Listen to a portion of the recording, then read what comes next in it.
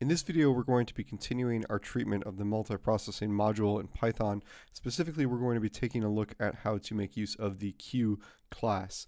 And the Queue class is going to allow us to instantiate a Q data structure from the multiprocessing module and allow us to share that data structure among various processes. So we can put things into this queue and also take things out of the queue. And the way in which we put things into the queue will be done over different processes. So there might be something accessing the same resource, namely the queue, among the different processes that we will actually instantiate. So let's go ahead and just write up a simple uh, two functions. What we're going to do is we're going to create a function called square and a function called cube.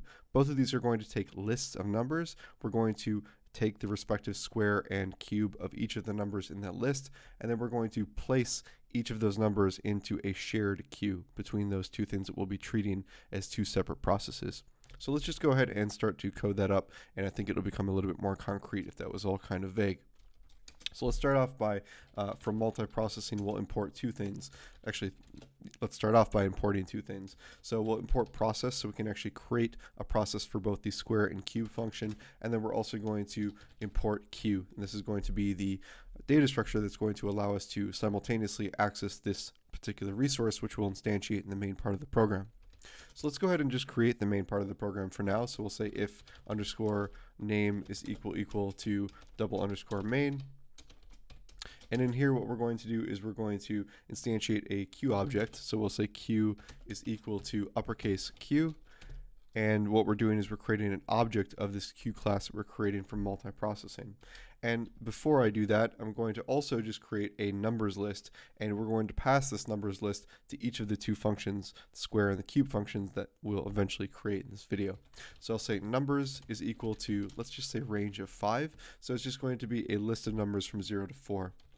So now what we're going to do is we're going to create two processes. And before we create those processes, let's just go ahead and create the functions to which those processes will correspond. So we'll create one function which is called square. And this is going to take a list of numbers. And it's also going to take the q, which will be adding the result of each of the computations in this function. So inside of this function, what we're going to do is we're going to loop through the list of numbers that we're given, and then what we're going to do is we're going to say q.put. So put is a method that every queue in multiprocessing has associated with it, which allows us to place the contents of whatever we have in the parentheses of this function into the queue that we're sharing among processes. So in this case, the value that I want to put in this queue is just the square, so that is just i times i. So we'll do a very similar type of function for the cube function as well. So let me just replace this with, instead of square, let's call that cube. It'll take numbers and q, and then instead of putting i times i, we'll just add an extra times i in there to make it a cube. So now we have our two functions, and what we're going to do inside of the main is we're going to create processes for each of those functions. So let's go ahead and create one thing which we'll call square process, and this will be a process for the square function. So we'll create an object of the process class and what we'll do is we'll give it the target of the square function that we created above and then for the arguments that's going to be given is this tuple which in this case is just going to be numbers the numbers list that we created above and then also the q object that we also created above. I'm going to copy this and then do the same thing for the cube as well. So we'll have a separate process for the cube changing the target as well here. So now we have both a process for the square and cube now what I'm going to do is I'm just going to start each of those processes up. So say square process dot start, and then I'll do the same thing for the cube process as well. So cube process dot start there. And then before we go on to the next part of the program, let's just join them to make sure that everything has been completed before we go on to whatever we show after this. So let's say square underscore process uh, dot join, and we'll do the same thing for the cube as well. And then what we're going to do after we've uh, joined the processes that we've uh, created and instantiated here, we're going to access the queue and we're going to look at the contents of the queue. What we should see is that since we're ranging over 5, we're passing this numbers list to both of the functions square and cube. We're going through each of the range of numbers and then we're putting in the square of each of the numbers in that list. And what should be happening is the queue should be putting the result in the same queue. So we're accessing that shared resource among two different processes that were instantiated.